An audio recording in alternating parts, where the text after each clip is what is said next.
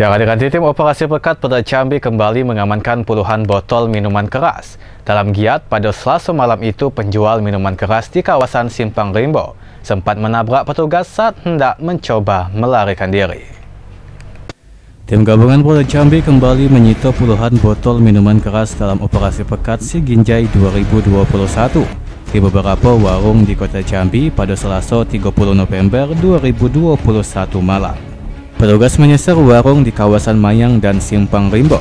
Dalam razia tersebut, penjual minuman keras di kawasan Simpang Rimbo sempat berusaha membawa kabur miras saat tim gabungan sedang melakukan pemeriksaan.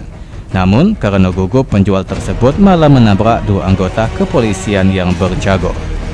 Pada 1 Subdit 3 di Treskrimum pada Jambi Ibtu Joshua Adrian mengatakan bahwa memang sempat ada usaha perlawanan oleh penjual minuman beralkohol itu.